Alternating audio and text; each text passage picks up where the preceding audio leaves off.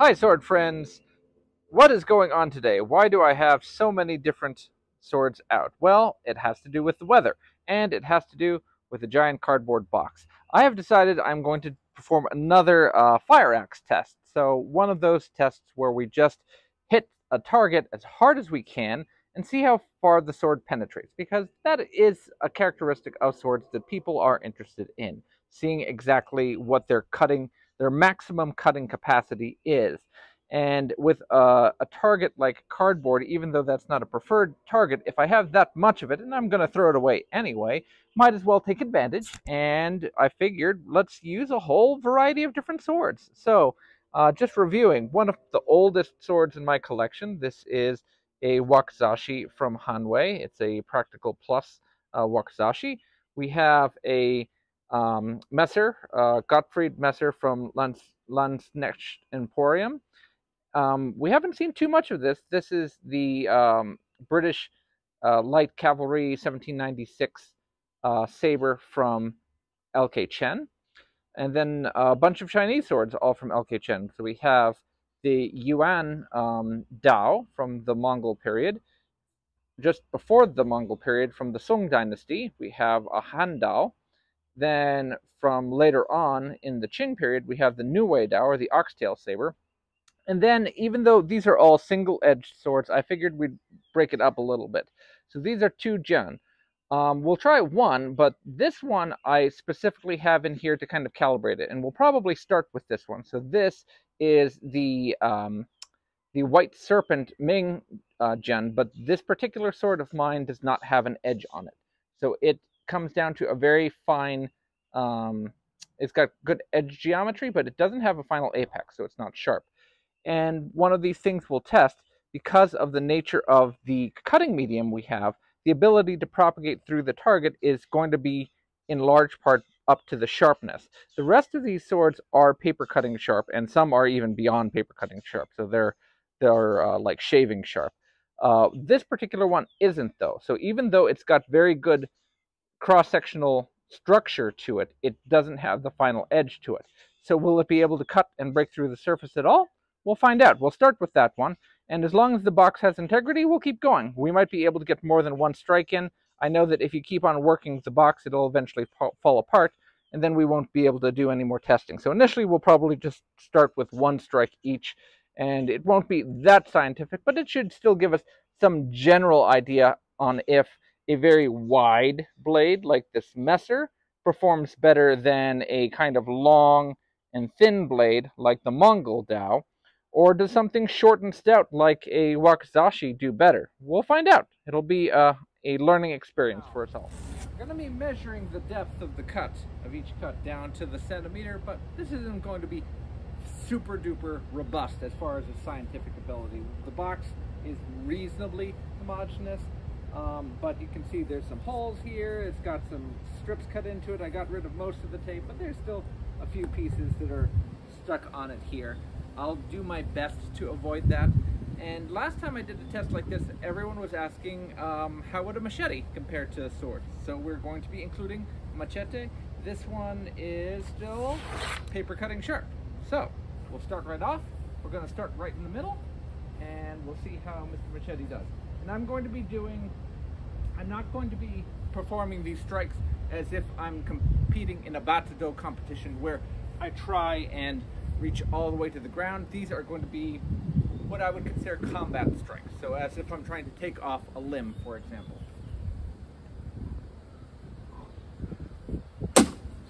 Okay, so Mr. Machete. Okay, 48 centimeters for machete. You can see that that uh, I had to get down pretty low in order to um, continue the strike. It went in pretty easy and there was a little bit of tearing. It didn't stay straight and I'm going with the grain in this direction and the further it goes off of true, the worse it gets.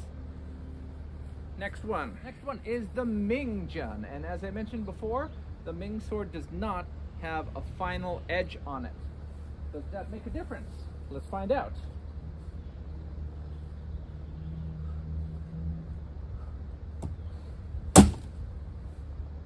Hmm.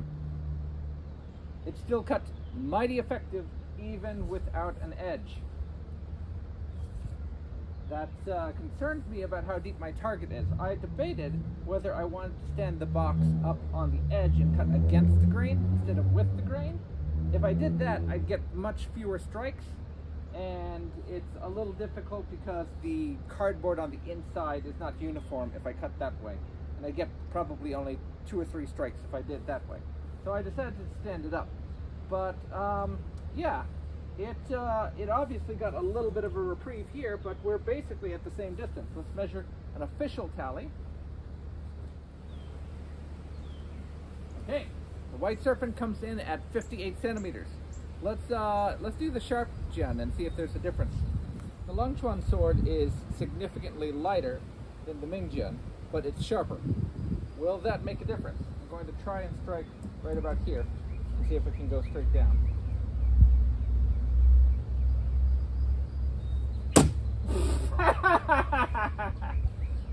I ground my sword into the earth. That doesn't bode well for the rest of the tests.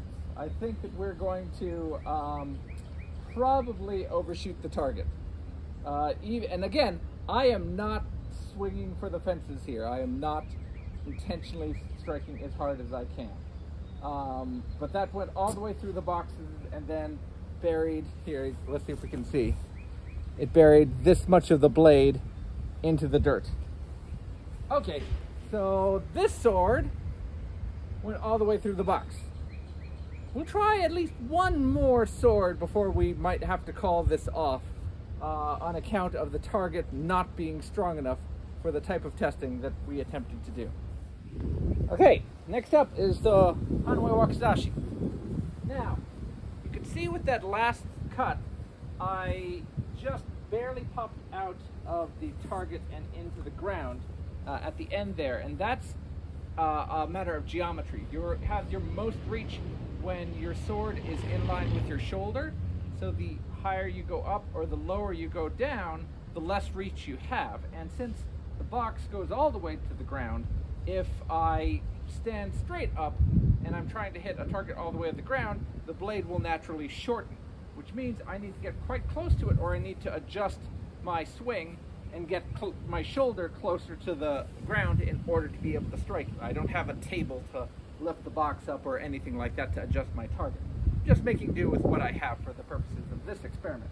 So I'm going to, I don't think I'm going to do a strike from Seiza. I'm not going to perform any Iaido, but um, I will perform a strike. This is a short blade, so I will try and get close and get a little low when I'm performing the strike.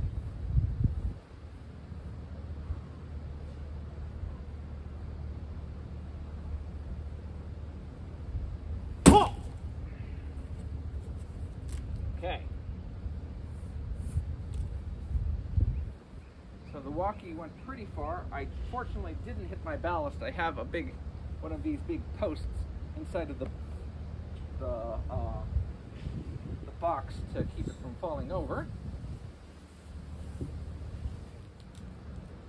So 62 centimeters for the Wakizashi.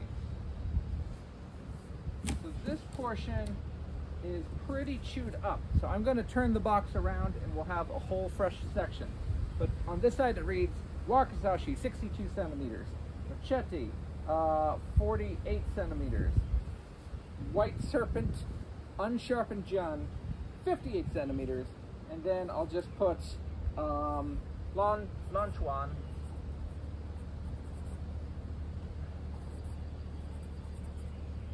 Longquan Jian Max. So it over, it broke the box. Okay, I'm gonna flip it around and we'll we'll get a couple more strikes in.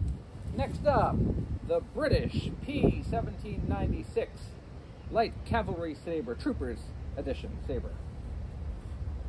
Right down the middle.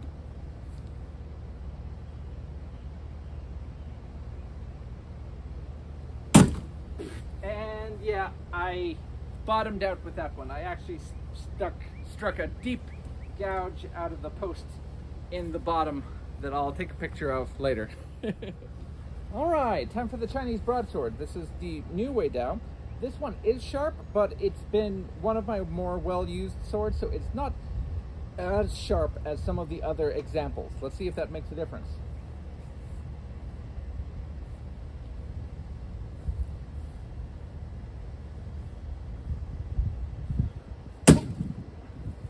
Huh.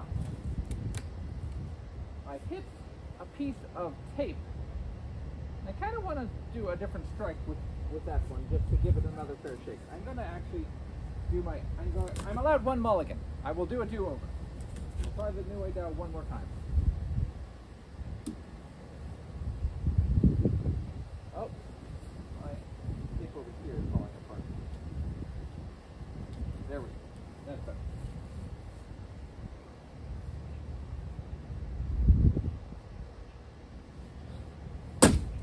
All right, that's a little bit better. You can see that it pushed and tore rather than cut towards the end, which I haven't seen on too many of the um, other swords, which leads me to believe, again, at least part of this blade is not as sharp as it should be. So I, that's my fault, not the blade's fault, for not keeping it as sharp as it, needs to be. 41 centimeters for the oxtail dao.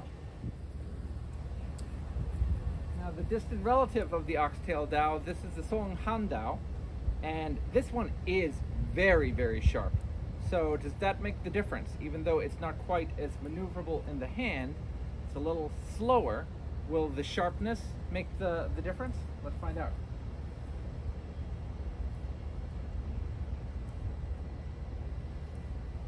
Yep, and that struck the post once again. So that once again got a maximum score. Max score for the Song Han Dao. And we'll end it with the much slimmer Mongol Dao. So this one again, it has a very narrow cross section. It's a lot longer and closer to military sabers, but it's quite sharp. And let's see if that seems to be the deciding factor with the other ones that have gone all the way through. They tend to be quite sharp swords. So let's see if this one uh, has similar great performance.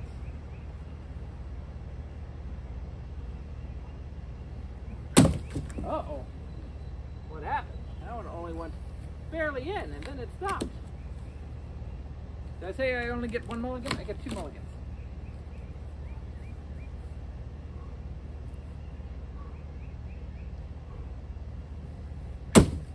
Hey, look at that. Oh, I see what's happening. The blade is so long, I'm striking the other side of the box because the center of percussion is here and the blade is so long that I'm hitting the other box and digging in. Hmm. Uh, what can I do to remedy that? Is there a way to remedy that? I'll try a strike right here and I'll just have to cut a little further out and see if that, if I can do, if I can remedy that. Let's see.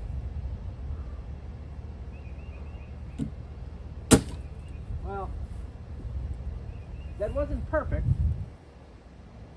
but at least it didn't cut through the other side. So I'm not able, I'm cutting a little bit further forward than the ideal place where you would strike with this sword intentionally because my target isn't deep enough. So I'm ending up trying to cut through two sections of the wall at a time, which is slowing down the blade. Um, but even so, even cutting through, you know, way out here in the in the foible, um, it still cut reasonably well. It probably outcut the uh, the unsharpened oxtail. So, so what are the takeaways? For this type of target, sharpness is vitally important, and not just any sharpness. Remember how I mentioned that the Niuwei Dao wasn't super sharp? It's still paper cutting sharp, decidedly. So the difference between this sharpness and the razor edge of some of the others, like the 1796 light cavalry saber, the Longquan Jian, the uh, Song Han Dao, which are dangerously sharp. This one, I don't mind putting my hand along the edge. I can feel the the edge. It's got a little bit of meat, what would be called niku in Japanese, and it just starts to bite my skin. The others are sharp enough to the point that they're scary sharp. and that makes a tremendous difference on this particular type of target. Um, other other takeaways: the the machete did well. It obviously was outperformed by dedicated swords. The swords that weren't super sharp didn't really perform significantly better than the machete. So if someone just wants something to, to cut as, as hard as possible, yes, a machete is obviously designed for that and can do okay. It uh, swords, especially these cutting types of swords, um, can can perform at least as well as a machete and often way outperform them, as we can see as this type of target can't stand up to well-made swords that are uh, done in that style. Uh, the difference between a fast-moving longsword and a shorter-moving broadsword is a little difficult to say. Again, this type of a target wasn't able to perhaps capture that particular um, difference in effect um, just because of the logistics of it. But uh, something something different and something interesting worth checking out. It would have been kind of interesting if the medium had been strong enough to catch even the more powerful strikes. Again, I was not striking that hard. I can hit significantly harder than this, and I probably could have gone all the way through the box if we wanted. So at the end of the day, it was just a another fun test just to show what can and can't be done, and uh, a good way, good reason for me to put put away my box. So until next time, the day it was just a another fun test just to show what can and can't be done, and uh, a good way, good reason for me to put put away my box. So until next time, guys.